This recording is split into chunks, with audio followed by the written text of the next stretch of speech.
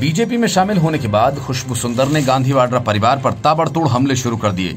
कांग्रेस अध्यक्षा सोनिया गांधी को भेजे अपने इस्तीफे में उन्होंने बिना नाम लिए पार्टी के बड़े नेताओं पर गंभीर आरोप लगाए थे। उन्होंने कहा था कि पार्टी में बड़े पदों पर कुछ ऐसे लोग बैठे हैं जिनका जमीनी हकीकत से कोई जुड़ाव नहीं है। वे आदेश दे रहे हैं, मेरे जैसे लोगों को जो पार्टी के लिए काम करना चाहते हैं, पीछे धकेल रहे हैं और रोक रहे हैं। खुशबू सुंदर ने कहा, गांधी परिवार को खुद बनाए गए बुलबुले से बाहर आना होगा। जब तक वे बुलबुला नहीं फोड़ेंगे, तब तक हारते रहेंगे। इस स्थिति में कांग्रेस खुद को विपक्ष में भी नहीं पाएगी। वे एक झूठी उम्मीद में जी रहे हैं। भारतीय फ़िल्मों की अभिनेत्री खुशबू 2014 में कांग्रेस में शामिल होने से पहले द्रमुक में थी। कांग्रेस सूत्रों का दावा है कि 2019 के लोकसभा चुनाव में टिकट नहीं मिलने के बाद से वे नाराज़ चल रही थी।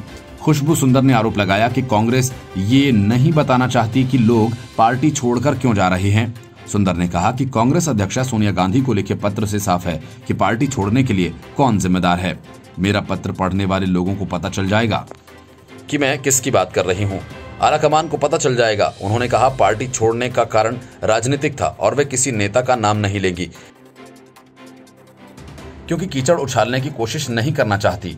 उन्होंने सवाल उठाया कि आखिर क्यों कांग्रेस का हिस्सा रहे लोग पार्टी छोड़ रहे हैं? वे सिर्फ़ ये आरोप लगाना चाहते हैं कि हम अवसरवादी हैं। वे आत्मनिरीक्षण नहीं करना चाहते हैं। पार्टी के भीतर कहीं ना कहीं कुछ गलत हो रहा है जिसे पार्टी खुशी से देख रही है, क्योंकि वे खुद अपनी दुनिया में रहते हैं और इससे बाहर नहीं आना चाहते। उन्होंने कहा कि कांग्रेस पार्टी लोगों के लिए बनाई गई है। ये एक निजी संपत्ति नहीं है। ये उन लोगों द्वारा बनाया गया है जो देश की सेवा करना चाहते थे। खुशबू ने कांग्रेस को दिमागी रूप से कमज़ोर पार्टी बता दिया। खुशबू ने कहा कि कांग्रेस मानसिक तौर पर कमज़ोर है। उसे एक समझदार महिला की ज़रूरत नहीं थी। वहीं कांग्रेस ने कहा कि खुशबू सुंदर के जाने से तमिलनाडु विधानसभा चुनाव में पार्टी के प्रदर्शन पर कोई फ़र्क नहीं पड़ेगा। खुशबू ने कहा कि मैं कांग्रेस के प्रति वफादार थी। लेकिन कांग्रेस ने मेरा अनादर किया। कांग्रेस में किसी बुद्धिमान महिला की जगह नहीं है। कहना कि वे मुझे केवल एक एक्ट्रेस के रूप में देखते हैं, कांग्रेस की ओछी मानसिकता को दर्शाता है। इस पार्टी में सच बोलने की आज़ादी नहीं है। Report, news of India.